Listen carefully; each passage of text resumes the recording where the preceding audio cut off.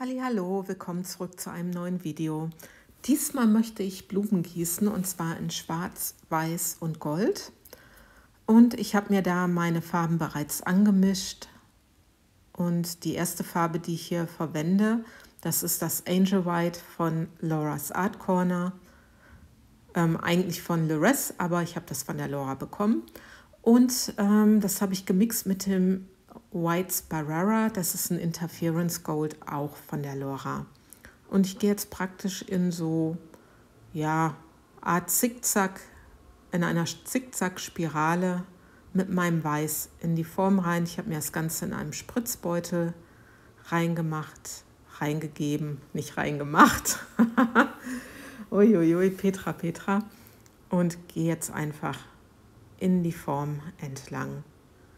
Die Form ist die Zweier Geode Form vom Modes and Shapes und ich finde die echt genial.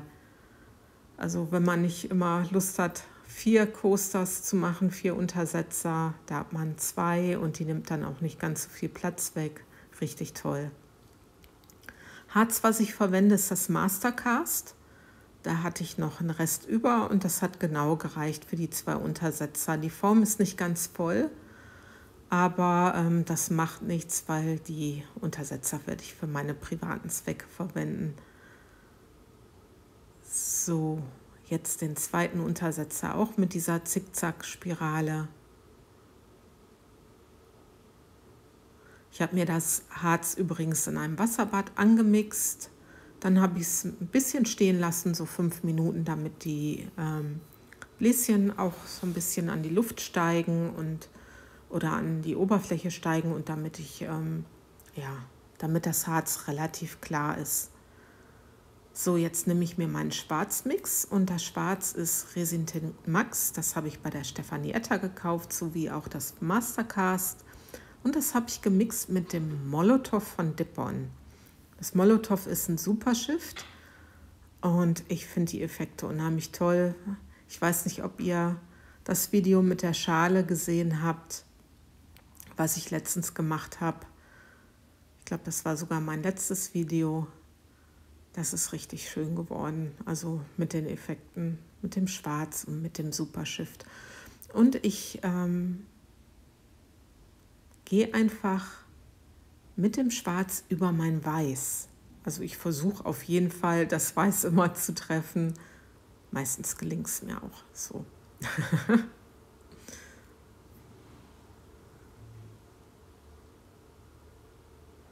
Ja, ich habe das Video diesmal nicht ganz so schnell gemacht wie sonst. Also ich habe es nur um eine halbe Umdrehung schneller gemacht.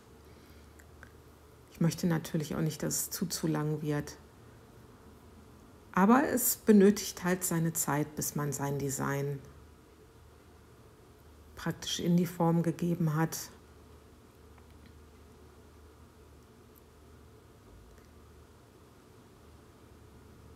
Bin echt mega gespannt, ähm, wie das wird, ähm, das Schwarze auf dem Weiß zu gießen, wie die Effekte auf der anderen Seite sind. Ich finde das teilweise sehr, ja, sehr, ähm, ich weiß gar nicht, wie ich das sagen soll. Ich bin sehr begeistert davon, wie sich das Ganze dann verblendet.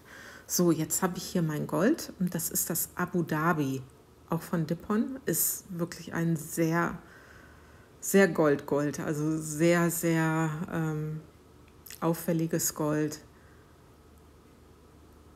Und ich finde, das passt so zu dieser Jahreszeit sehr, sehr gut. Und ich habe gedacht, das ist auch wunderschön hier mit diesem Design und oder mit diesen Farben. Und ich gebe jetzt hier so am Rand entlang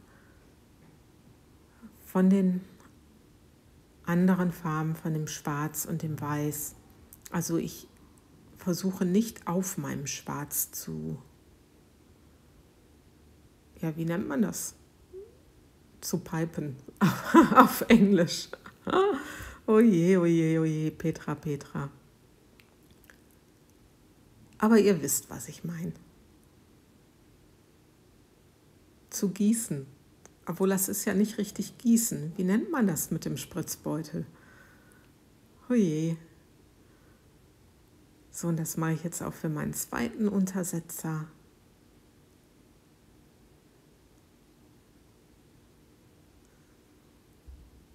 Und ich bin echt mal gespannt, ähm, wie sich das ausbreitet und ob sich das Ganze schön schließt. Zu dem Zeitpunkt jetzt, wo ich ähm, spreche, weiß ich noch nicht, wie es geworden ist. ist mal was Neues, sonst mache ich immer mein Voice-Over komplett hinterher, aber diesmal habe ich gedacht, fang mal an, weil ich die Woche auch sehr beschäftigt bin und deswegen ist es schon interessant und ich bin echt mega gespannt. So, Jetzt gebe ich noch ähm, Glassteinchen, goldene Glassteinchen in die Mitte. Die sind auch von der Laura. Einfach nur so ein paar in die Hand. Nicht ganz einfach, weil meine Handschuhe, die sind schon relativ klebrig.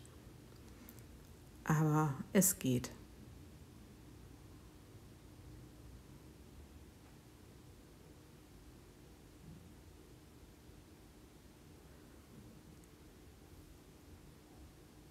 So, und dann nehme ich mein Dotting-Tool.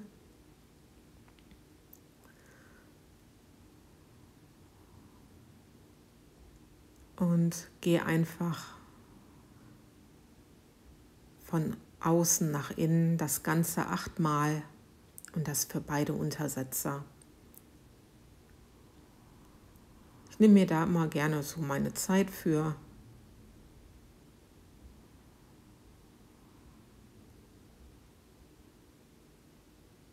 Bin sowieso nicht so die schnellste im Gießen, aber ich denke, das macht auch nichts.